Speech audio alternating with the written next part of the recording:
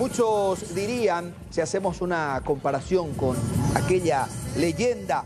del jinete sin cabeza, en este caso en particular se trata del caballo sin jinete, no del jinete sin cabeza. Precisamente esto ocurre sobre la avenida Artigas, ustedes verán ahí,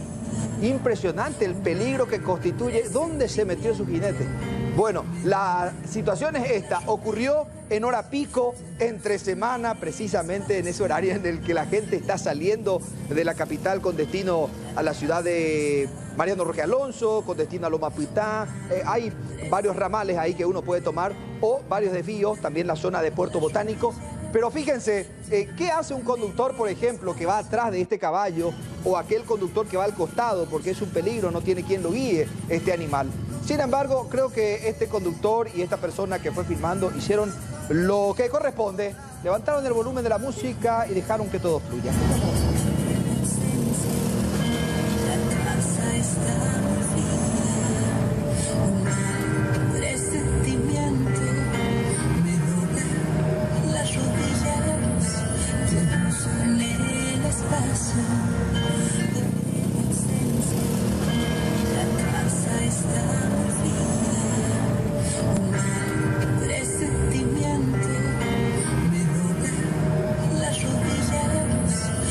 Preocupante la otra denuncia que vamos